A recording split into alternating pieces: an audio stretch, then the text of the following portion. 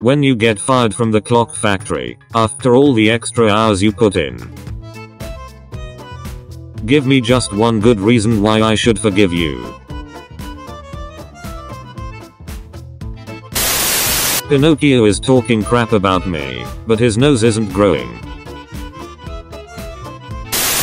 Next time you think of eating a chicken, remember that they had a family, just like you. This is why I order a family bucket at KFC. No one is left behind. When you take an obnoxiously fat poop, and its sudden vacancy leaves your entire lower half tingling with ecstasy.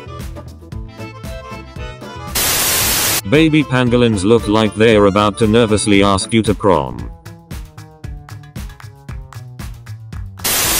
Me. Dark joke. Accidentally slips out. Family. Grandmother. Only 6% of people can handle this puzzle. These three want to share two apples equally. How do you handle this with using only one stroke of the knife? Peace was never an option. Hey Bob. Everything going good so far? Drying baby. Yes. No. My teacher seeing me looking at OnlyFans during class. Me looking at my teacher's OnlyFans during class.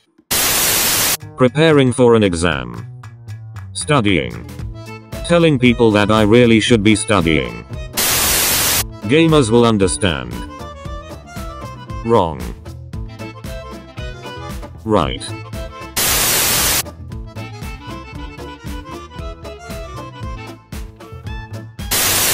Teacher, what has inspired you to write this long essay? Me. The due date. The older we get, the more we understand this guy. When your joke is so funny that HR wants to hear it in person. Notification on my phone. Your credit card was declined for $37.95 at Papa John's, because your balance is $1.47. The guy who stole my credit card. Levels of pain. Slap. Childbirth. Kicked in the groin. Biting your cheek while eating. My mother sharing her social security number and birthday on Facebook. Just to see what kind of flower she would be. Thanks for watching.